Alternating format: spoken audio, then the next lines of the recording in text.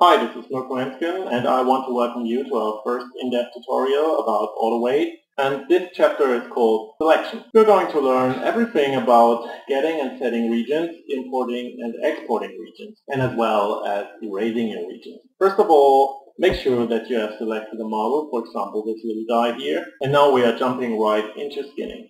When it comes to skin a character or a mechanical part or whatever, the first thing I try to do is to set it up automatically. In this case, you just hit the Set Up Color button without selecting anything else than the model in object mode.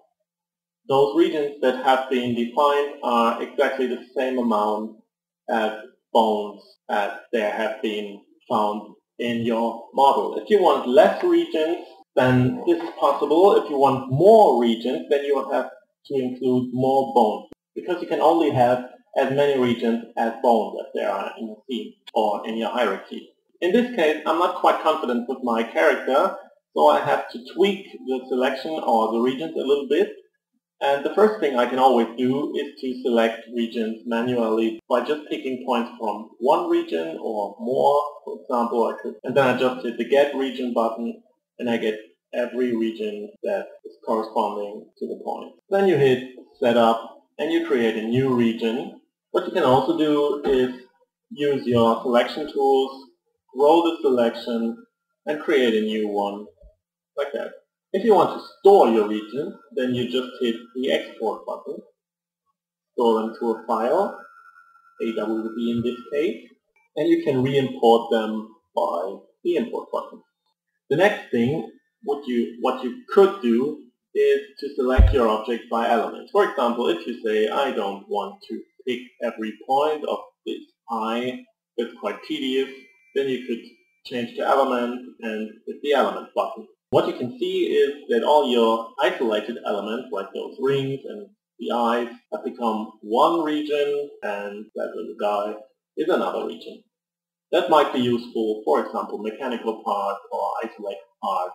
For region painting, you have to use the vertex paint modifier, and then I set the brush options to min strength to 1 and max strength to 1 to be sure that I don't have a color in the brush. And I could also use the mirror functionality. After that, I pick the color of the pelvis region or what will be the pelvis region. Then I set up the vertex color. I set up the color for the region or what will be the region. And then I can start painting. And I also want to change those shoulders, you can see here.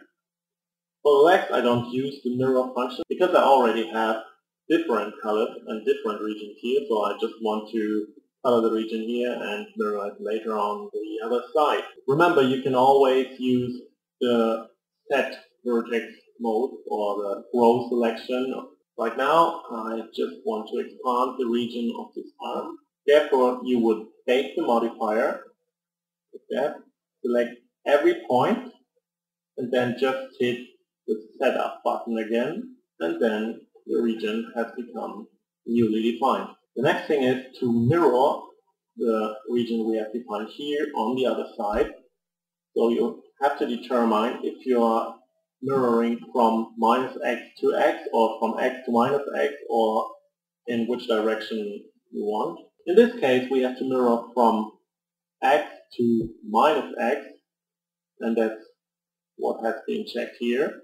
So I just select the region or even just a couple of points and then I hit the mirror button. Remember, we also changed the arm. That's why I select those points here and just hit the mirror function. If your points are a little bit off on this side, you can always try to compensate it by using a higher threshold, but the mirror function is very strict when it comes to mirror geometry. The model has been set up and I just want to make sure that I don't lose anything, so I just hit the export button again and save it. In the next chapter, you will learn to calculate skin and to change skin values.